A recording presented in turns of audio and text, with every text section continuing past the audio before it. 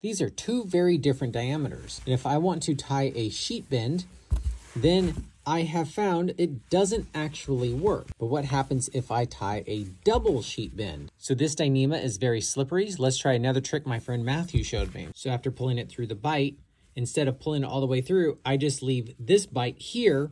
And then I'm gonna take this tail and I'm gonna stick it in that bite. And then I'm just gonna cinch the whole thing down and see if that holds. Uh, that did not work.